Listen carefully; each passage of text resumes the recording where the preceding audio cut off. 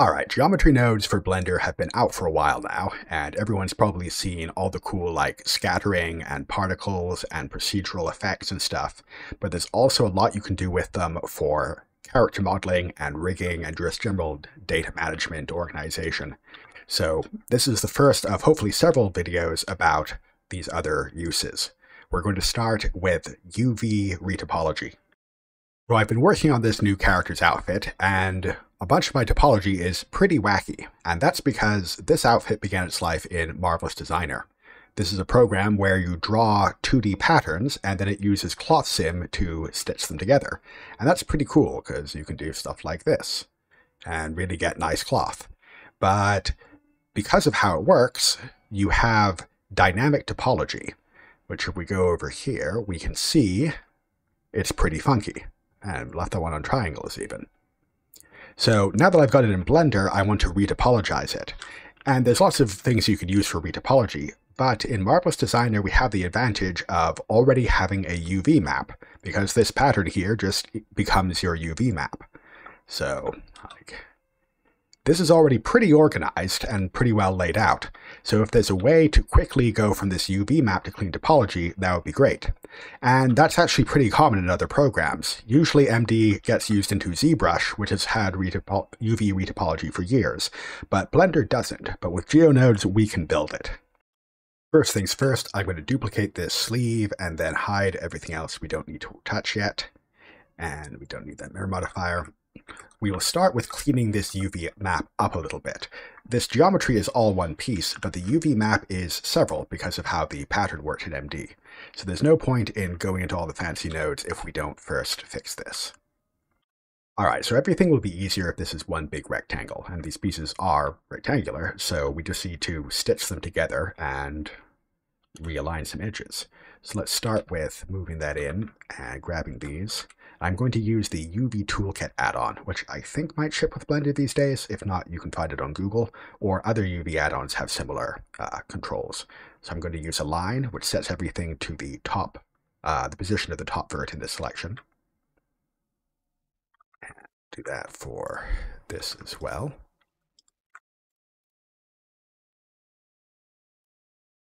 I want to try to keep the spacing of these three loops as that's a pretty important area here where the spacing is different. I had those cut in in Marvelous Designer itself. So now I'm going to use distribute, but leaving those points out. And this evenly spaces things. I'm only worried about the edge here. And let's get this scaled up to match. Align again.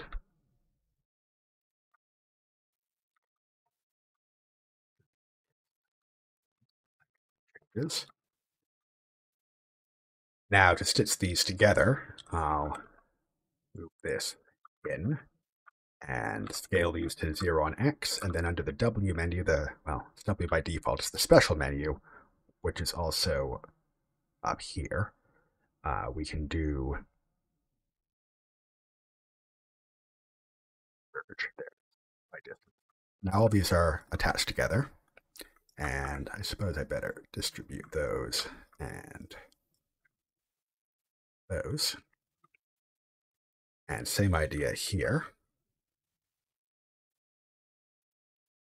We can use the line strain X as well. Actually, that doesn't do it. Well, that'll do it. And distribute, and then merge by distance. All right, now everything should be happy. Now let's select all of the outer edges and all the edges we don't want to change. That'll be these loops too. And hotkey P pins them. They've turned red. What pinning does is now if I re-unwrap this, it's not going to change those points. So you unwrap and it has re-unwrapped and filled out the interior. And this still might not be entirely even, so I'm going to get the relax brush on lock border and just go over this stuff a bunch. And that should even everything out. And if we turn on the stretch display, which should be somewhere up here, we can get some idea of if this is helping or hurting. So we won't spend more time on that for now, but that is something you might want to spend more time on in your own project. Now let's stress that it doesn't really matter if it fills the bounds or not for what we're doing here. That's good enough for the UVs for now. Now we need to get the mesh to be unwrapped to those UVs. So let's get into the geometry nodes. So first up, we want to unwrap something to its UV map. I'm going to make a new plane and rotate this 90 degrees so we can see it to, with the camera. And this is going to be our UV reference. And I'm going to add a geometry nodes modifier. We're not going to use the geometry of this plate at all. That's just there if we need to see it. Instead, we're going to get object info, and our object will be our target sleeve. I'll hide everything. I guess we can keep the group input that can be target. And I just remembered that this has 90 degrees of rotation on it because it came from Marvelous Designer. So I've cleared the rotation and scale. And now I'll move this to the side, otherwise it's right on top of it. So we want to set this to the position of the UV. So to get the UV, we need a named attribute. It's called UV map. There it is. We can even check out the position data by looking at it. That's showing us the position. So at the moment, this mesh is in its world space position, and we want to set it to be in its UV map position. So for that, we just need a set position node. And there we go. Now it's in its UV map position. It looks kind of crappy. It's flat on X and Y because UV map is just X and Y and not Z. So first things first, let's rotate this so it faces our camera a bit more conveniently we will get a vector rotate node. And we'll just set that to Euler and rotate it by 90 on X. And now we are looking at it. And there's something wrong with the edges. And that is because we haven't split edges where the seams of the UV map are. So let's go back to the original mesh and we don't have any seams marked at all, actually. If we look here, I've got crease sharp, I've got seams on, I've got freestyle edge marks. So let's go back into the UV mode and do a seams from islands. So now there is a seam on the bottom. And now in our geometry nodes, we want to split on the seams, except there is no seams. Geometry nodes doesn't actually support seams, but it does support edge and uh, crease edge and sharp. So I'm going to select all my seams and mark them as sharp instead. And now when we come back here, I can do sharp edge. And before we do that position change, we will get an edge split. Actually split edges. And there we go. We could just split every single edge. That also solves the problem, but that is actually a bit rougher on the performance than otherwise. So there's no reason to do that when we can get that seam info. We could also use a vertex group or something, but that can have problems on triangles. So since I'm not rendering this mesh yet anyway, it doesn't matter if I use sharp for this. But I might subsurf it, so I didn't want to use crease. To get a bit more control, in case we wanted to adjust this, let's also get some more math here. Get a vector math add, or actually I'll change that to a subtract. And this lets us move around the position. So I'm centering this on its origin point, which is just a little easier to look at. And let's also do a scale node.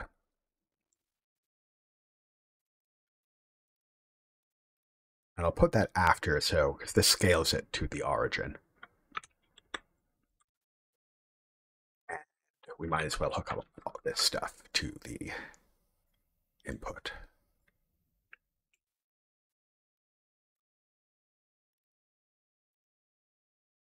Actually, instead of scale, it should be a multiply so we can adjust each axis separately, shouldn't it?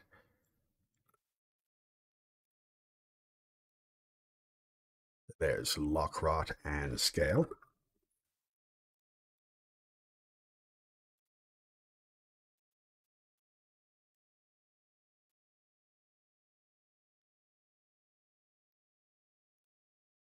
Our split group. All right, so now we have a group that unwraps something to its UV map and lets us move it around a bit too. Let's name this. Had one name that. Oh, I'll override my old one in this file. Now we have a UV reference, which is a copy of the mesh in its UV position. Now what we want is a way to take another mesh we put here and get the original position copied to it. So for that, we need to save that position in the first place. So going back to the original sleeve, we'll add a new node group, and we'll just call this save position. We just need a store named attribute and a position node. Set that to vector, and let's call that now, if we are looking on this mesh, we can see that base location actually exists because this is inputting that. Next, we want to make a new mesh, which is what we're actually going to use for our retopology. So I'm going to copy the UV ref, but delete this modifier, and note it's in the same location as this. I'm just going to call this topo input. And subdivide that a few times just so we can see what's there. Now let's get yet another, and we'll call this retopo output. This one needs a new node group. And we are going to get another object info and target the UV ref.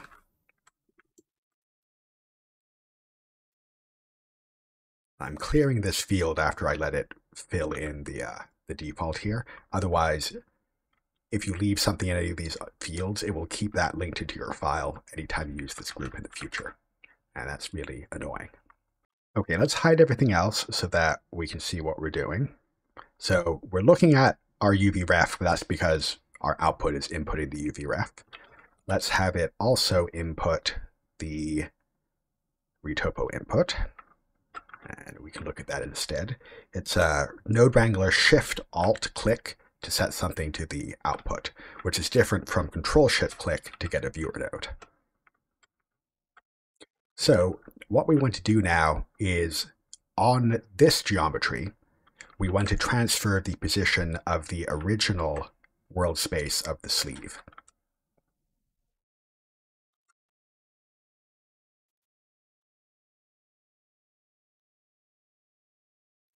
So that will be coming from the UV ref.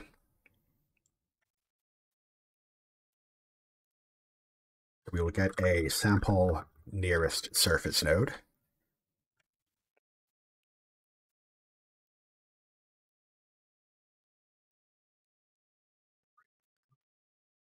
And we are going to sample for that position base lock, which doesn't show up until I have that uh, plugged in.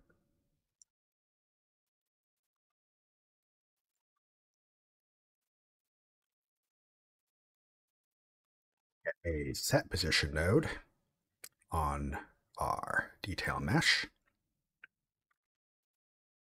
And now we can see it is up there. Now we will unhide everything.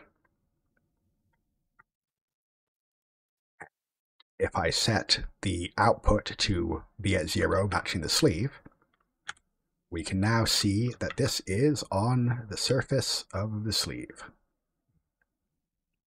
So we are successfully retopoing.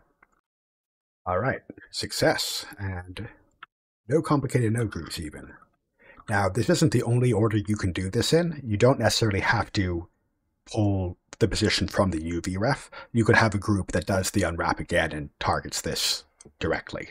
And combine all this stuff together. But I've done it this way because that's nice and bite-sized, and I don't want to try to cover everything in one video. So the next question is just how do we get something nice here?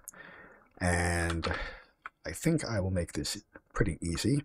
I will just dissolve all these unneeded edges and turn this back into a square and snap these to the corners. Since we made this into a rectangle already, this is nice and easy.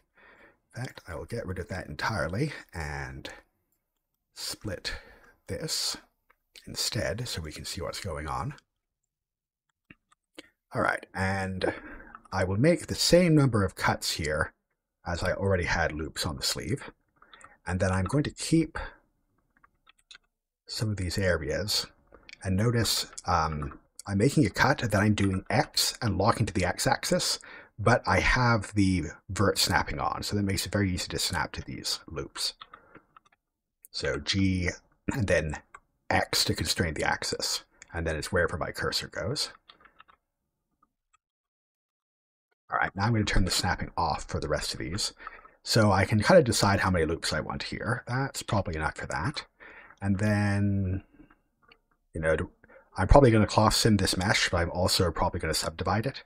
So of course, if I have less loops than the original, then I will lose some of the resolution of the mesh.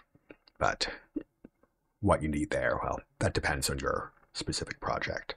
So now I can hide the old mesh and I can come over here and let's grab a copy of that. And all we need to do is apply this GeoNodes or Visual Geo to mesh. Let's shade it smooth. And there we go. Retopo sleeve. Nice and even. Maybe we can put a subsurf on there. That edge. Now let's get everything else back. And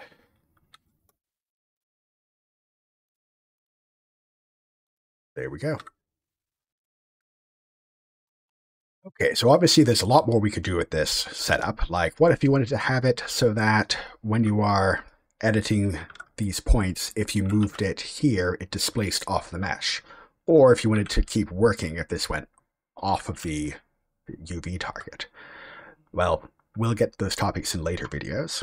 And then there's also other topics like all of this UV wrapping stuff. Like, how am I going to deal with other parts of this garment that aren't going to easily turn into a rectangle? Well, I am going forward with unwrapping the rest of this, so I will probably be at least posting about that on Twitter. So if you want to know more, like and subscribe for the next video. Follow me on Twitter where I post regular updates and you can ask me questions. And if you make anything with this technique, feel free to tweet it at me and I will republish it. Thanks everyone. See you in the next video.